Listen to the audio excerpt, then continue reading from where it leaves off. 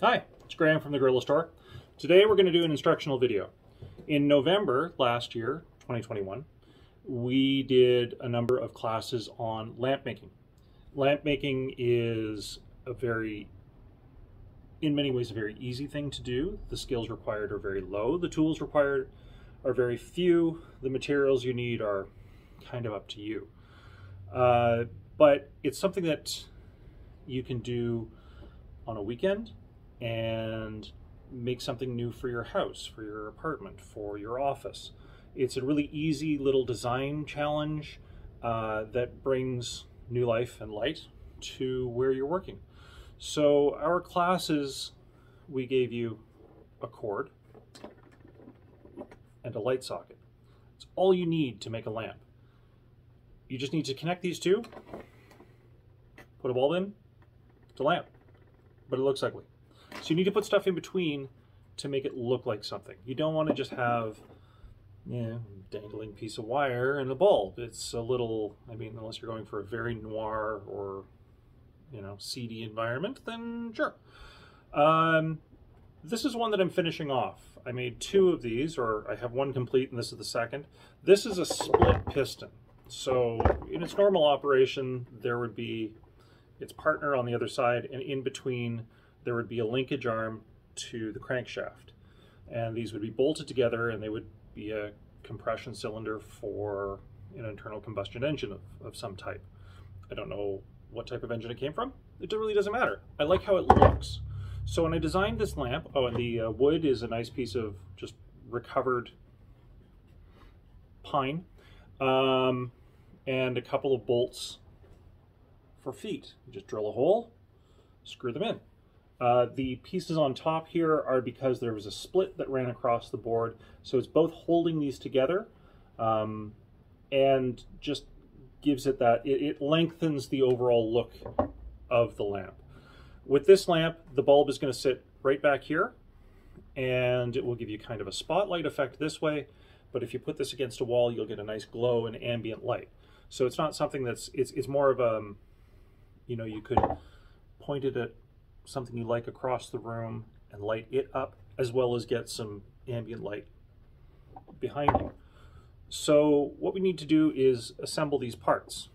We have the socket, we have the cord, I have an extension here that will go below the piece of wood and keep on the floor and, and hold all the parts together. Um, I've got to check that one for length. That might be too long, in which case I'm just going to pause the video and go grab another one. Uh, but it will sit right here, like that. Bulb goes on top. This cord has a switch. These are also recycled cords. I didn't buy this. The socket I bought at uh, a hardware store. Everything else I found. So total cost of this project without the bulb is about $6. So find things around your house. Okay, I'm gonna pause. I'm gonna get that piece and check it for length. Okay, so I got a new threaded end. This is actually just a little bit too short, so the first one that we had is, is the right length. Um, I should mention the cord. You can get three wire cords, so it has the two wires on the outside that provide power, and this green one in the middle is a safety ground. If I had been building this out of mostly metal, or if the wires were in contact with metal, I would use a three wire light or a three wire cord. In this case, it's touching wood. Wood is the only thing nearby. If you touch the metal parts, there's no electricity running anywhere really near it. So it's fine, it doesn't matter. I've stripped the wires already. You can use a pair of pliers, a knife, uh, a wire stripper. The important thing when you're putting your lamp together is to get the parts in the right order it's really easy to go, okay, I put the wire through, I screw this on, and oh, I didn't put the didn't put the nut on. So I have the nut and the post. I'm going to slide the wire through these first. It's going to be a little, little snug, and I'm going to give myself lots of room. I don't need this until the very end. This part, I know I want to go here, so I'm going to pass the wire through the base of my lamp here. And then I have my socket.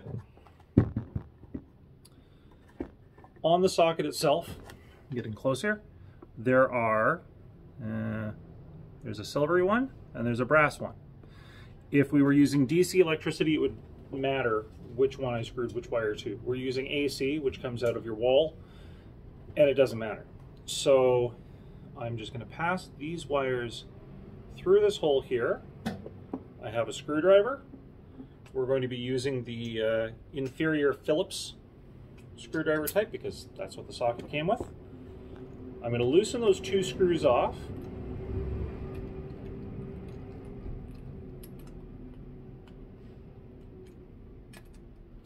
One is in a slightly more awkward position than the other. We pass the wires through.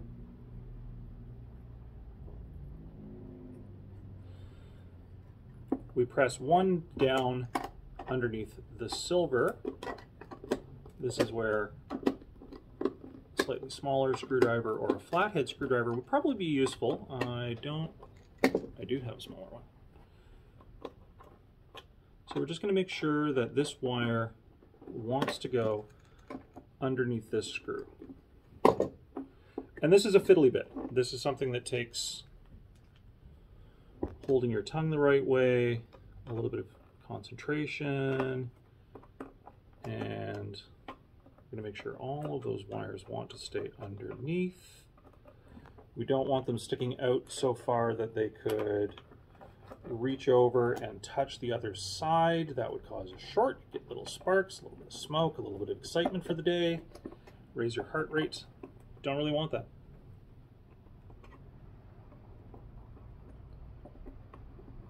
Gonna go with Dave Picciuto on this and say that we just, you know, we're just having fun. Don't need the excitement. That's the uh, wood. No, it's not the wood wizard. He's make something. Woodworking channel. Oop. You also want to make sure you're turning the screw the right way. That would really help with your project. There we go.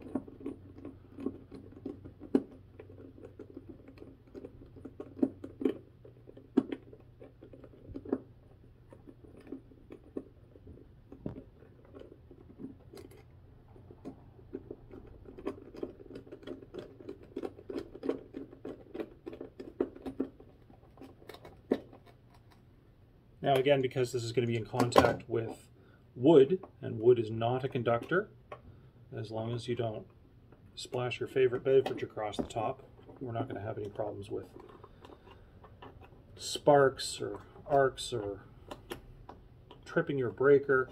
Now this screw is right underneath this little bridge here, and I can't get my screwdriver in. So we're just going to have to kind of like work at it at an angle, and we're using the even more inferior slotted flathead screwdriver on this in this case, only because it fits. Kind of. Uh, I may be able to slide this in beside here to get into the screw. It is going to fight me at every turn, no pun intended.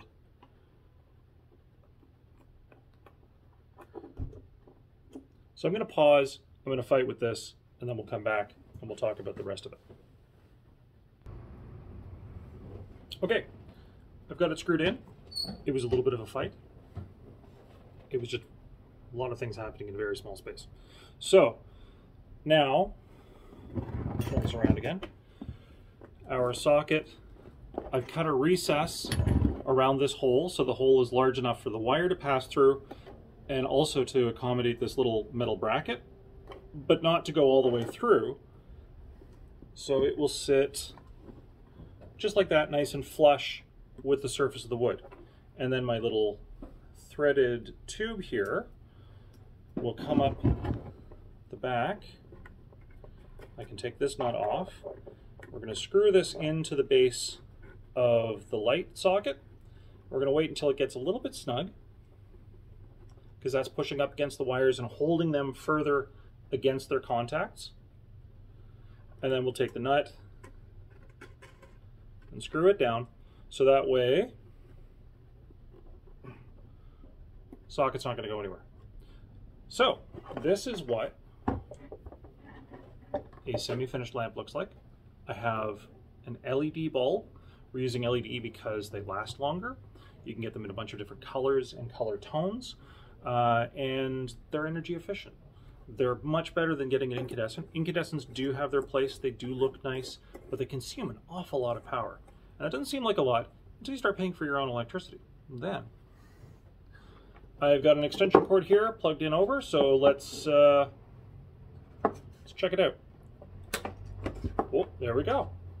Lit up. Switch works. So this is a finished lamp. So this is the effect that we're going for, where if it's against a wall, you'll get a nice spray of light, and out front, you'll get this kind of spotlight effect. So this, this is, you know, an hour or two's work. You have a lamp. This lamp and its partner will be available for sale in the Gorilla store. I'm not going to risk shipping these, so you'll have to come to Toronto if you'd like to buy one. I have some other lamps that uh, I've built with things from around. In fact, I'll go get one.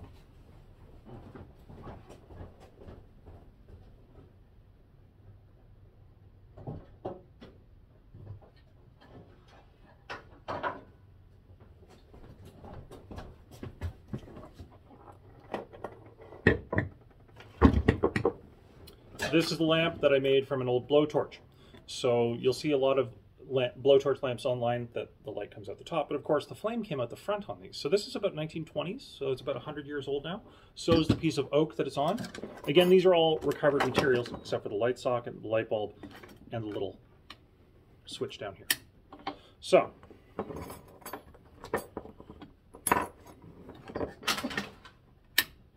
there you go. So if you're interested in making a lamp, and you need some parts, come down and see us. If you want to make a lamp of your own, show us what you've made. You know, hit us up on our Instagram and Twitter account, show us pictures of lamps you've made, have a look around, find things, harvest old electronics for their power cords. If you're throwing out, you know, if you're recycling some piece of electronics that doesn't work, keep the cord. Could be useful. All right. Thanks again. We'll see you later.